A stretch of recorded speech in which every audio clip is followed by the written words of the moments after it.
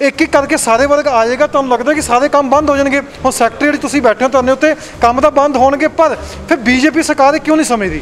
ਜਿਹੜੀ ਭਾਰਤ ਸਰਕਾਰ, ਕੇਂਦਰ ਸਰਕਾਰ, ਮੋਦੀ ਸਰਕਾਰ ਕਿਉਂ ਪਿੱਛੇ ਪਈ ਹੈ ਕਿ ਅਸੀਂ ਲਾਗੂ ਕਰਾਂਗੇ? ਜਦੋਂ ਲੱਗ ਰਿਹਾ ਕਿ ਜਿਨ੍ਹਾਂ ਲਈ ਤੁਸੀਂ ਕਹਿ ਰਹੇ ਹੋ ਵੀ ਇਹ ਬੜੇ ਫਾਇਦੇਮੰਦ ਆ ਕਿਸਾਨਾਂ ਲਈ ਕਿਸਾਨ ਕਹਿ ਰਿਹਾ ਸਾਡੇ ਲਈ ਫਾਇਦੇਮੰਦ ਨਹੀਂ। ਤੇ ਤੁਹਾਡਾ ਇਹਦੇ ਵਿੱਚ ਨਿੱਜੀ ਸਵਾਰਥ ਕੀ ਆ? ਤੁਸੀਂ ਚੀਜ਼ ਸਮਝਾ ਰਹੇ ਹੋ ਫਿਰ ਬੀਜੇਪੀ ਨੂੰ ਕਿਉਂ ਨਹੀਂ ਸਮਝ ਆਦੀ ਸਮਝ ਆਦੀ ਤੁਸੀਂ ਕਹਿ ਰਹੇ ਹੋ ਕਿ ਕਿਸਾਨਾਂ ਦੇ ਖਿਲਾਫ ਬਿੱਲ ਨੇ ਫਿਰ ਬੀਜੇਪੀ ਕਿਉਂ ਨਹੀਂ ਸਮਝ ਪਾਦੀ ਜਦੋਂ ਮੰਡੀ ਬੋਰਡ ਟੁੱਟੇਗਾ ਕੀ ਉਹਦੇ ਵਿੱਚ ਮੁਲਾਜ਼ਮਾਂ ਦੀਆਂ ਪੋਸਟਾਂ ਨਹੀਂ ਖਤਮ ਹੋਣਗੀਆਂ? ਕੀ ਉਹ ਮੰਡੀ ਬੋਰਡ ਜੋ ਡਿਵੈਲਪਮੈਂਟ ਪੰਜਾਬ ਦੀ ਕਰ ਰਿਹਾ, ਉਹ ਸੜਕਾਂ ਕਿਵੇਂ ਬਣ ਗਈਆਂ? ਉਹ ਡਿਵੈਲਪਮੈਂਟ ਕਿਵੇਂ ਹੋਏਗੀ? ਕੀ ਉਹਦੇ ਵਿੱਚ ਆਮ ਲੋਕਾਂ ਦਾ ਨੁਕਸਾਨ ਨਹੀਂ ਹੋਏਗਾ? ਸਾਡੀ ਇੱਕ ਟੀਮ ਅੱਜ ਇੱਥੋਂ ਟੀਮ ਗਈ ਆ, ਉਹ ਪੂਰੇ ਸੈਕਟਰੀਏਟ ਦੇ ਵਿੱਚ ਚੱਕਰ ਕੱਢ ਰਹੀ ਆ, ਲੋਕਾਂ ਨੂੰ ਉਤਸ਼ਾਹਿਤ ਕਰ ਰਹੀ ਆ ਵੀ ਕੱਲ ਛੁੱਟੀ ਲੈ ਕੇ ਸੈਕਟਰੀਏਟ ਬੰਦ ਕਰਕੇ ਸਾਰੇ ਦੇ ਸਾਰੇ ਮੋਹਾਲੀ ਵਿਖੇ ਕਿਸਾਨਾਂ ਦੀ ਜਿਹੜਾ ਪੰਜਾਬ ਬੰਦ ਦੇ ਸੱਦੇ ਦੇ ਉੱਤੇ ਉੱਥੇ ਪਹੁੰਚੋ। ਕਿ ਕਿਸਾਨ ਨੇ ਜ਼ਹਿਰ ਖਾ ਲਿਆ ਤਾਂ ਉਹਦੀ ਮੌਤ ਹੋ ਗਈ ਹੈ। ਫਿਰ ਤੁਸੀਂ ਤੁਹਾਨੂੰ ਕੀ ਲੱਗਦਾ ਇਹਦੇ ਜ਼ਿੰਮੇਵਾਰ ਕੌਣ ਹੈ ਪੰਜਾਬ ਦੀ ਸਰਕਾਰਾਂ ਜ਼ਿੰਮੇਵਾਰ ਨੇ ਜਾਂ ਸ਼੍ਰੋਮਣੀ ਅਕਾਲੀ ਦਲ ਜੋ ਸਮਝਾ ਨਹੀਂ ਪਾਏ ਆਪਣੀ ਬੀਜੇਪੀ ਪਾਰਟੀ ਨੂੰ ਜਾਂ ਬੀਜੇਪੀ? ਅਸੀਂ ਇੱਕ ਜਿਹੜਾ ਸਪੇਸ ਖਾਲੀ ਕਰਤਾ ਕਿ ਇਹ ਲੁੱਚੇ ਲਫੰਗੇ ਚੋਰਾਂ ਦਾ ਕੰਮ ਅਸੀਂ ਕਰ ਨਹੀਂ ਸਕਦੇ। ਉਹਨਾਂ ਨੇ ਵਾਰੀ ਬੰਨ ਲਈ। ਇੱਕ ਦਿਨ ਉਹ ਲੁੱਟਦਾ ਇੱਕ ਵਾਰੀ ਉਹ ਲੁੱਟਦਾ ਇੱਕ ਵਾਰੀ ਉਹ ਲੁੱਟਦਾ। ਪੰਜਾਬ ਵਿੱਚ ਜਿਸ ਤਰੀਕੇ ਨਾਲ ਕਿਸਾਨ ਜਿਹੜੇ ਸੜਕਾਂ ਦੇ ਉੱਤੇ ਹੈਗੇ ਨੇ, ਤਾਂ ਹੁਣ ਦੂਸਰੇ ਪਾਸੇ ਪੰਜਾਬ ਸੈਕਟਰੀਏਟ ਯਾਨੀ ਕਿ ਜਿੱਥੇ ਪੰਜਾਬ ਦਾ ਪੂਰਾ ਕੰਮ ਚੱਲਦਾ ਹੈ। ਉੱਥੇ ਹੁਣ ਜਿਹੜੇ ਨੇ ਸਰਕਾਰੀ ਮੁਲਾਜ਼ਮ ਭੁੱਖ ਹੜਤਾਲ ਦੇ ਵਿੱਚ ਬੈਠ ਗਏ ਨੇ, ਕਿਸਾਨਾਂ ਦੇ ਹੱਕ ਵਿੱਚ ਨਿ- ਨਿੱਤਰ ਗਏ ਨੇ। ਭੁੱਖ ਹੜਤਾਲ 30 ਤਰੀਕ ਤੱਕ ਕੀਤੀ ਹੋਈ ਹੈ ਕਿ 30 ਸਤੰਬਰ ਤੱਕ ਜੇ ਕਿਸਾਨਾਂ ਨੂੰ ਇਨਸਾਫ ਨਾ ਮਿਲਿਆ, ਫਿਰ ਉਸ ਤੋਂ ਅੱਗੇ ਉਲੀਕਿਆ ਜਾਏਗਾ ਕਿ ਭੁੱਖ ਹੜਤਾਲ ਕਿਵੇਂ ਕਰਨੀ ਹੈ। ਪਰ ਤੁਸੀਂ ਜਿਵੇਂ ਦੇਖ ਰਹੇ ਹੋ ਕਿ ਸਾਰੇ ਮੁਲਾਜ਼ਮ ਜਿਹੜੇ ਨੇ ਸਾਰੇ ਸਰਕਾਰੀ ਮੁਲਾਜ਼ਮ ਨੇ ਤੇ ਸੈਕਟਰੀਏਟ ਦੇ ਵਿੱਚ ਹੀ ਬੈਠੇ ਨੇ ਭੁੱਖ ਹੜਤਾਲ ਤੇ। ਕਿਸਾਨਾਂ ਦਾ ਸਾਥ ਦੇ ਰਹੇ ਜੋ ਕਿਸਾਨਾਂ ਦੇ ਨਾਲ ਇਸ ਸਮੇਂ ਬਿੱਲ ਨੂੰ ਲੈ ਕੇ ਪ੍ਰੋਟੈਸਟ ਕਿਸਾਨ ਕਰਦੇ ਨੇ, ਤਾਂ ਇਹ ਵੀ ਉਹਨਾਂ ਦੇ ਹੱਕ ਵਿੱਚ ਨਿੱਤਰ ਆਏ ਨੇ। ਪੂਰੀ ਬਿਲਡਿੰਗ ਜਿਹੜੀ ਹੈਗੀ ਆ, ਜਦੋਂ ਸਾਰੇ ਸਰਕਾਰੀ ਕੰਮ ਹੁੰਦੇ ਨੇ, ਸਾਰੇ ਹੀ ਪੰਜਾਬ ਦੇ ਸਰਕਾਰੀ ਕੰਮ ਜਿਹੜੇ ਨੇ ਉਹ ਠੱਪ ਹੋ ਜਾਣਗੇ, ਜੇ ਕੁਝ ਮੁਲਾਜ਼ਮ ਜਿਹੜੇ ਇਹ ਵਾਲੇ ਨੇ ਭੁੱਖ ਹੜਤਾਲ ਤੇ ਚਲੇ ਜਾਣਗੇ। ਹੁਣ ਆਪਾਂ ਗੱਲ ਕਰਾਂਗੇ ਬਿੱਲ ਦੀ।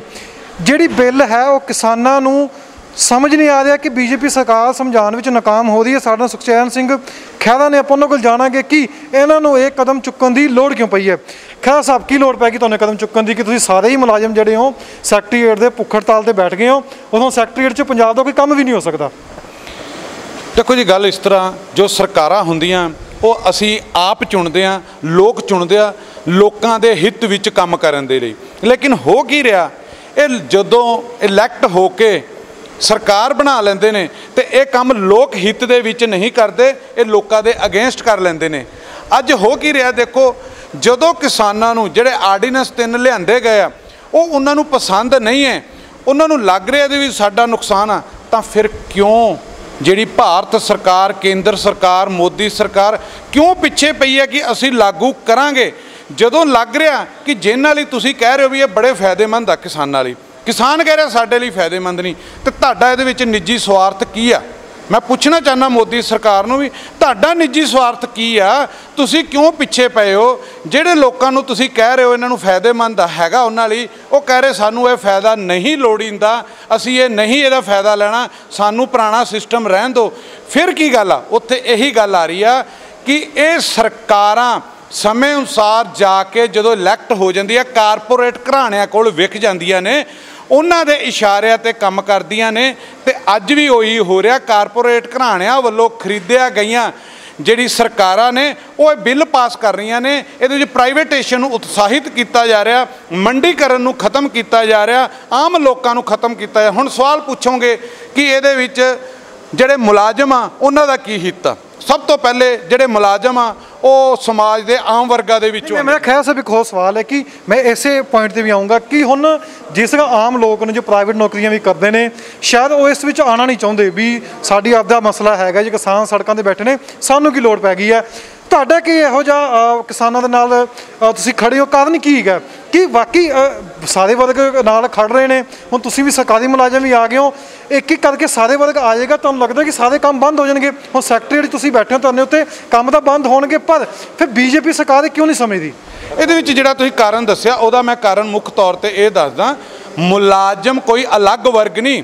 ਉਹ ਸਮਾਜ ਦੇ ਜਿਹੜੇ ਪਿਤਾ ਪੁਰਖੀ ਕੰਮ ਕਰਕੇ ਵਰਗ ਵੰਡੇ ਹੋਏ ਜਿਵੇਂ ਕਿਸਾਨੀ ਆ, ਮੈਨੂੰ ਲਾ ਲਓ, ਮੈਂ ਕਿਸਾਨੀ ਵਰਗ ਚੋਂ ਆਇਆ, ਕੋਈ ਮਜ਼ਦੂਰ ਵਰਗ ਚੋਂ ਆਇਆ, ਕੋਈ ਛੋਟੇ ਵਪਾਰੀ ਵਰਗ ਚੋਂ ਆਇਆ, ਇਹਨਾਂ ਦੇ ਵਿੱਚੋਂ ਮੁਲਾਜ਼ਮ ਆਉਂਦੇ ਨੇ। ਸੋ ਸਾਡਾ ਫਰਜ਼ ਬਣਦਾ ਕਿ ਅਸੀਂ ਜਿਸ ਵਰਗ ਚੋਂ ਆ ਕੇ ਮੁਲਾਜ਼ਮ ਬਣੇ ਆ, ਉਸ ਵਰਗ ਨੂੰ ਜਿਹੜਾ ਹੈਗਾ ਉਤਸ਼ਾਹਿਤ ਕਰੀਏ, ਉਹਦੇ ਨਾਲ ਖੜੀਏ, ਉਹਨਾਂ ਦੇ ਦੁੱਖ ਸੁੱਖ ਚ ਕਰੀਏ ਦੂਜੀ ਗੱਲ ਮੈਂ ਬੜੀ ਕਲੀਅਰ ਕਰ ਦੇਣੀ ਚਾਹਨਾ ਕਿ ਇਹਦੇ ਨਾਲ ਸਾਰੇ ਹੀ ਸਮਾਜ ਦਾ ਨੁਕਸਾਨ ਆ। ਜੇ ਤੁਸੀਂ ਮੁਲਾਜ਼ਮਾਂ ਦੀ ਗੱਲ ਕਰੋ, ਜਦੋਂ ਮੰਡੀ ਬੋਰਡ ਟੁੱਟੇਗਾ ਕੀ ਉਹਦੇ ਵਿੱਚ ਮੁਲਾਜ਼ਮਾਂ ਦੀਆਂ ਪੋਸਟਾਂ ਨਹੀਂ ਖਤਮ ਹੋਣਗੀਆਂ? ਕੀ ਉਹ ਮੰਡੀ ਬੋਰਡ ਜੋ ਡਿਵੈਲਪਮੈਂਟ ਪੰਜਾਬ ਦੀ ਕਰ ਰਿਹਾ, ਉਹ ਸੜਕਾਂ ਕਿਵੇਂ ਬਣ ਗਈਆਂ? ਉਹ ਡਿਵੈਲਪਮੈਂਟ ਕਿਵੇਂ ਹੋਏਗੀ? ਕੀ ਉਹਦੇ ਵਿੱਚ ਆਮ ਲੋਕਾਂ ਦਾ ਨੁਕਸਾਨ ਨਹੀਂ ਹੋਏਗਾ? ਨੰਬਰ 2 ਸਾਡਾ ਫੂਡ ਐਂਡ ਸਪਲਾਈ ਦਾ ਡਿਪਾਰਟਮੈਂਟ ਆ। ਉਹ ਕੀ ਕਰਦੇ ਆ? ਇਹੀ ਚੀਜ਼ਾਂ ਖਰੀਦੋ। ਇੱਕ ਏਜੰਸੀ ਆ ਜੋ ਪੰਜਾਬ ਲੈਵਲ ਤੇ ਇਹਦੀ ਖਰੀਦ ਕਰਦੀ ਹੈ ਜਿੰਸ ਦੀ। ਜੇ ਜਿੰਸੀ ਨਹੀਂ ਖਰੀਦਣੀ, ਮੰਡੀ ਨਹੀਂ ਹੈਗੀ ਪ੍ਰਾਈਵੇਟੇਸ਼ਨ ਹੋ ਜਾਣਾ, ਤੇ ਸਾਡੇ ਫੂਡ ਐਂਡ ਸਪਲਾਈ ਡਿਪਾਰਟਮੈਂਟ ਦਾ ਕੀ ਫਾਇਦਾ? ਕਾ ਕਾਰਪੋਰੇਸ਼ਨ ਵਿਭਾਗ ਦਾ ਕੀ ਫਾਇਦਾ? ਇਹਦੇ ਨਾਲ ਸਾਡੇ ਮੁਲਾਜ਼ਮਾਂ ਨੂੰ ਵੀ ਨੁਕਸਾਨ ਹੋਏਗਾ, ਆਮ ਨਾਗਰਿਕ ਜੋ ਪੰਜਾਬ ਦਾ, ਉਹਦਾ ਵੀ ਨੁਕਸਾਨ ਹੋਏਗਾ। ਇਸ ਕਰਕੇ ਹਰ ਵਰਗ ਜੋ ਪੰਜਾਬ ਦਾ ਹੈਗਾ, ਸਮਾਜ ਦਾ ਹੈਗਾ, ਉਹਨਾਂ ਨੂੰ ਕਿਸਾਨ ਦੇ ਨਾਲ ਖੜਨਾ ਪਏਗਾ, ਅਸੀਂ ਖੜੇ ਆ, ਖੜੇ ਰਵਾਂਗੇ ਔਰ ਕੱਲ ਦੇ ਪ੍ਰੋਟੈਸਟ ਦੇ ਵਿੱਚ ਵੱਧ ਚੜ ਕੇ ਹਿੱਸਾ ਲਵਾਂਗੇ। ਸਾਡੀ ਇੱਕ ਟੀਮ ਅੱਜ ਇੱਥੋਂ ਟੀਮ ਗਈ ਆ, ਉਹ ਪੂਰੇ ਸੈਕਟਰੀਏਟ ਦੇ ਵਿੱਚ ਚੱਕਰ ਕੱਢ ਰਹੀ ਆ, ਲੋਕਾਂ ਨੂੰ ਉਤਸ਼ਾਹਿਤ ਕਰ ਰਹੀ ਆ ਵੀ ਕੱਲ ਛੁੱਟੀ ਲੈ ਕੇ ਸੈਕਟਰੀਏਟ ਬੰਦ ਕਰਕੇ ਸਾਰੇ ਦੇ ਸਾਰੇ ਮੋਹਾਲੀ ਵਿਖੇ ਕਿਸਾਨਾਂ ਦੀ ਜਿਹੜਾ ਪੰਜਾਬ ਬੰਦ ਦੇ ਸੱਦੇ ਦੇ ਉੱਤੇ ਉੱਥੇ ਪਹੁੰਚੋ, ਤਾਂ ਕਿ ਆਪਾਂ ਇਹਨਾਂ ਨੂੰ ਪੂਰਨ ਜਿਹੜਾ ਸਹਿਯੋਗ ਦਈਏ। ਤੇ ਜਿਹੜੀਆਂ ਸਮੇਂ ਦੀਆਂ ਸਰਕਾਰਾਂ ਚਾਹੇ ਉਹ ਮੋਦੀ ਸਰਕਾਰ ਆ ਚਾਹੇ ਕਾਂਗਰਸ ਸਰਕਾਰ ਆ ਜਿੱਥੇ ਮੋਦੀ ਸਰਕਾਰ ਨੇ ਕਿਸਾਨਾਂ ਦਾ ਖੂਨ ਪੀਤਾ ਸਾਡਾ ਖੂਨ ਪੀਤਾ ਉੱਥੇ ਕਾਂਗਰਸ ਨੇ ਤੁਸੀਂ ਚੀਜ਼ ਸਮਝਾ ਰਹੇ ਹੋ ਫਿਰ ਬੀਜੇਪੀ ਨੂੰ ਕਿਉਂ ਨਹੀਂ ਸਮਝ ਆਦੀ ਸਮਝ ਆਦੀ ਤੁਸੀਂ ਕਹਿ ਰਹੇ ਹੋ ਕਿ ਕਿਸਾਨਾਂ ਦੇ ਖਿਲਾਫ ਬਿੱਲ ਨੇ ਤੇ ਬੀਜੇਪੀ ਕਿਉਂ ਨਹੀਂ ਸਮਝ ਪਾਦੀ ਕਿਉਂਕਿ ਉਹ ਕਾਰਪੋਰੇਟ ਕ੍ਰਿਕਟ ਘਰਾਣਿਆਂ ਦੇ ਹੱਥਾਂ ਦੇ ਵਿੱਚ ਖੇਡ ਰਹੇ ਨੇ। ਸਿੱਧੀ ਜੀ ਗੱਲ ਆ ਕਾਮਨ ਸੈਂਸ ਦੀ ਗੱਲ ਆ।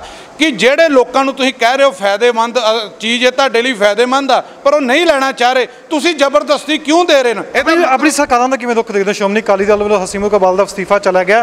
ਫਿਰ ਤੁਹਾਨੂੰ ਲੱਗਦਾ ਉਹ ਵੀ ਨਾਲ ਖੜੇ ਨੇ ਕਿਸਾਨਾਂ ਦੇ? ਕਿ ਸਿਆਸਤ ਦਬਾਅ ਉਠਾ ਕੇ ਅਸਤੀਫਾ ਹੋਇਆ? ਇਹ ਸਾਰੇ ਜਿੰਨੀਆਂ ਪਾਰਟੀਆਂ ਨੇ ਇਹ ਕਰਪਟ ਸਿਸਟਮ ਦਾ ਹਿੱਸਾ ਨੇ ਇਹ ਸਿਆਸਤ ਕਰ ਰਹੇ ਨੇ ਆਪਣੀਆਂ ਰੋਟੀਆਂ ਪਕਾ ਰਹੇ ਨੇ ਪਰ ਕੋਈ ਵੀ ਕਿਸਾਨਾਂ ਦੇ ਹਿੱਤ ਵਿੱਚ ਨਹੀਂ ਖੜਿਆ।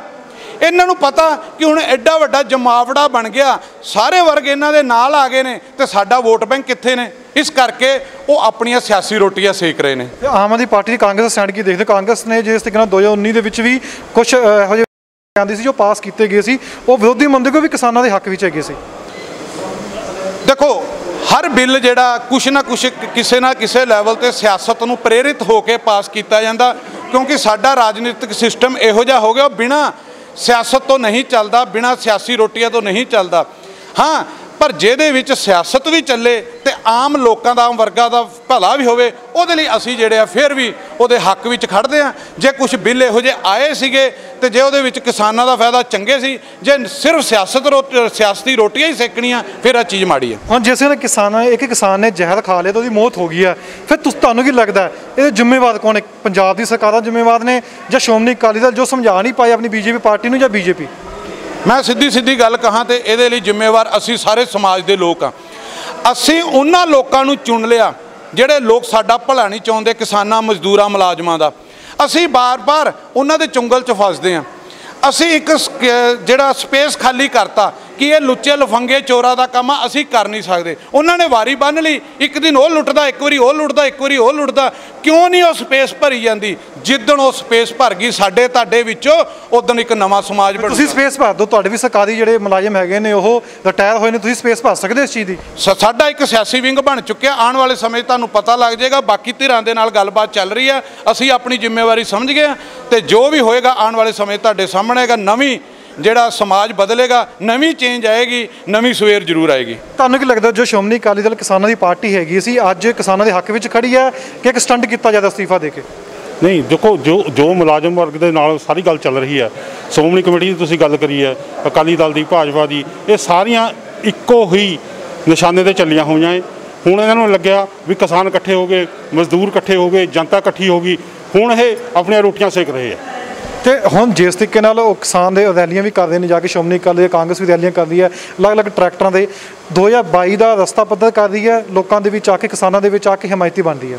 ਨਹੀਂ, ਕਿਸਾਨਾਂ ਦੇ ਵਿੱਚ ਆਪਣਾ ਉਹ ਹਮਾਇਤੀਪਨ ਦਿਖਾ ਰਹੇ ਵੀ ਅਸੀਂ ਤੁਹਾਡੇ ਹਮਾਇਤੀ ਆ ਅਸੀਂ ਤੁਹਾਡੀ ਆਵਾਜ਼ ਚੱਕਦੇ ਆ ਪਰ ਨਹੀਂ, ਇਹ ਹੋਣਾ ਨਹੀਂ, ਜੋ ਦਿਖਾ- ਦਿਖਾਇਆ ਜਾ ਰਿਹਾ ਉਹ ਦਿਖਦਾ ਨਹੀਂ ਹੁੰਦਾ ਕਿਤੇ।